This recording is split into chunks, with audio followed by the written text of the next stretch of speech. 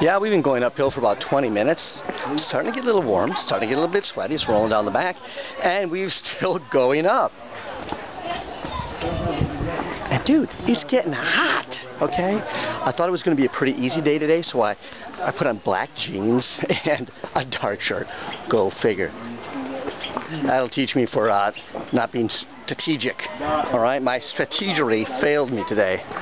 All right, well, keep you guys up on it. You see the ridge over there? I don't know if you can see the ridge. Yeah, we're going up that ridge still, so we'll see you.